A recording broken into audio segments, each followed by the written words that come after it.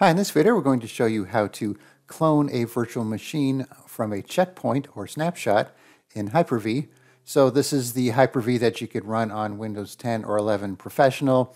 Uh, you could also run it on Windows 10 or 11 Home if you do the little hack, which I'll put a link for in the description. So checkpoints are typically used to take a snapshot of the virtual machine at a particular point in time. So it saves the state of everything that's on the virtual machine, uh, everything in RAM and everything that's running. So we have just this basic Windows 11 VM here. So we want to clone this from a snapshot. So if you already have an existing snapshot, you could do it that way, but we're going to actually make a snapshot here and then clone the VM from that snapshot. So before we do that, let's make a new file here. Call this checkpoint. Got to get used to calling them checkpoints in Hyper-V instead of snapshots. All right, so when we clone it, if this file is there, we know it worked. Okay, so let's go back to the Hyper-V Manager here. I'll right click it, checkpoint.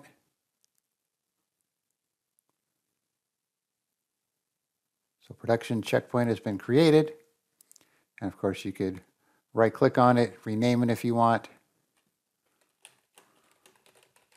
Like so. All right, so now that we have our checkpoint, you may have multiple checkpoints. You could use whichever one you want. So we're going to have our checkpoint selected here.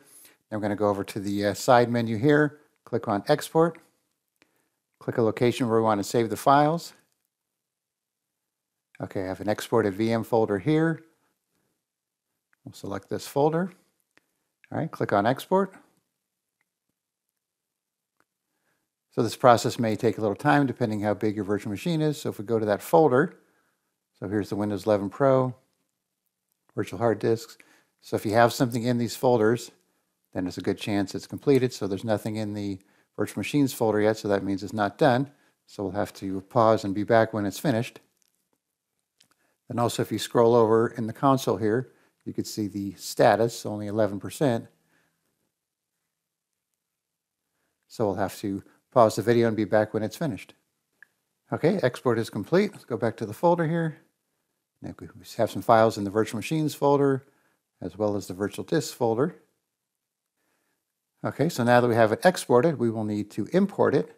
So import virtual machine from the same location here. Okay, so, so I know it's in my exported VMs folder, you also have to add the name of the folder that it created during the export.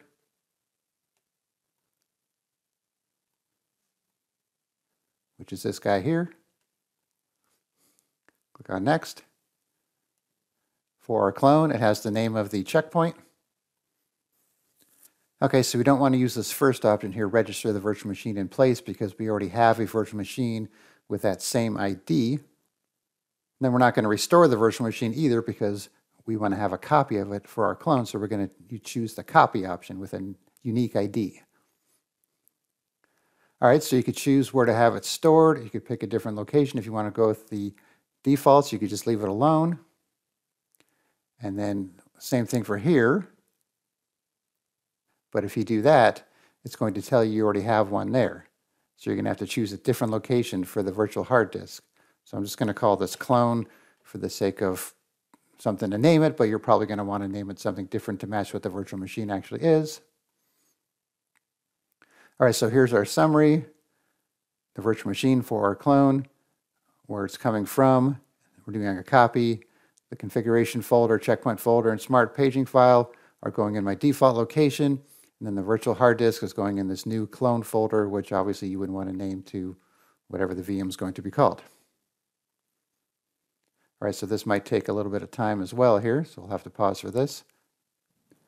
Okay, so the import is complete. So here is our clone called for our clone. So let's start it up here.